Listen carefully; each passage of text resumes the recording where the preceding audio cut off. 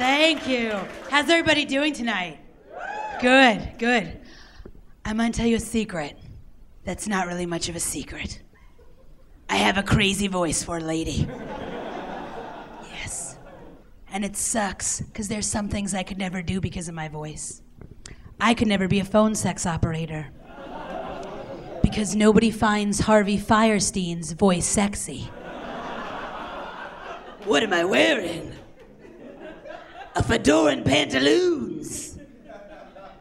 What I want you to do to me? Cover me in lax and real cream cheese. But it gets worse because my voice gives guys the misconception that I don't want to do dainty lady things on dates.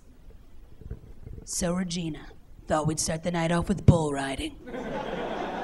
then some bare knuckle boxing in the alley.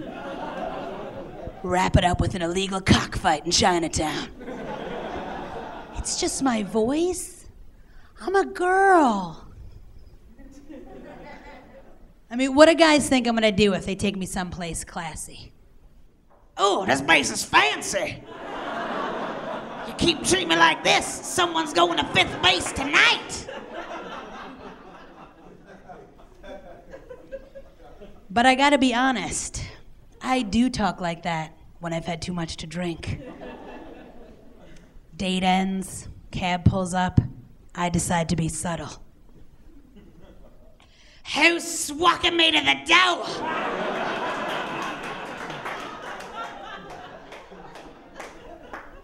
My date looks at the cabbie. The cabbie says, You do it or I do it. She's going to put out. Guess who doesn't pay for cabs anymore?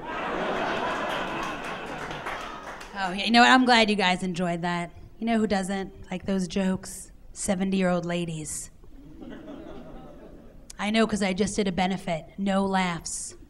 Then I heard them talking in the front row. She doesn't sound odd at all to me, Agatha. She sounds fine.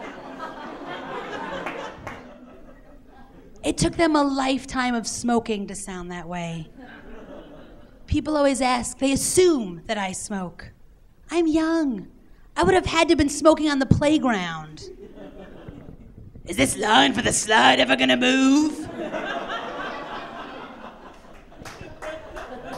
Is it me or does recess get shorter every year?